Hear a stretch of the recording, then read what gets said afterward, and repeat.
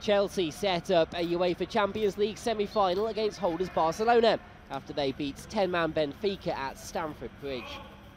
It's the sixth time in the last nine seasons the London sides have qualified for the last four of the competition.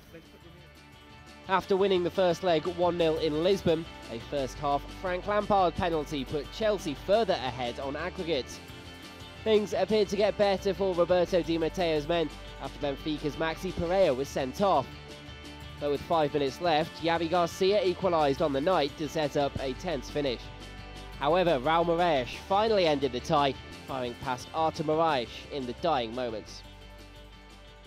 We expected a, a difficult game, a hard game, and uh, we exactly proved proved that tonight. We probably uh, made it a little bit more difficult for ourselves by not scoring the second goal, especially in the second half with all those chances and they that kept them alive and you know, kept their hope in uh, by scoring a goal that they would still be in.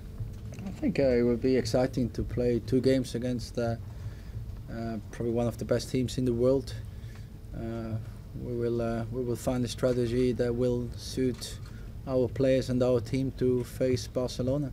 They obviously have some individual players that um, are a big threat and, and very dangerous, but we also have to play our game and play to, to our strength. Real Madrid marched into the semi-finals after thrashing Apoel Nicosia 5-2 at the Bernabeu. Cristiano Ronaldo got another two goals to take his tally to the season to 54.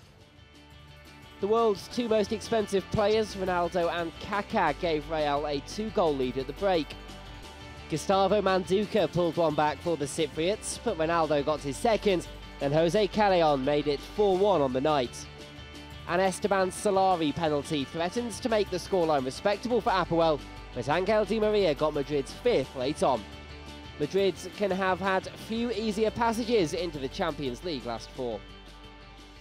Nosotros y Bayern, una semifinal que eu espero muy, muy. Between Bayern and us, I expect a very balanced semi-final. We are two good, strong teams that are playing well. Bayern are motivated to play the final at home. Extra de jugar o de poder jugar la final en su casa. Real Madrid have got to the semis for two years in a row, and it's normal that if you didn't get to the final in the first try, the players would have more motivation to get there the second time. una motivación extra de intentar llegar la segunda. So just a reminder of the semi-final lineup. It's Bayern Munich against Real Madrid with the first leg in Germany on the 17th of April. And the day later, it's Chelsea against Barcelona with the first leg in London.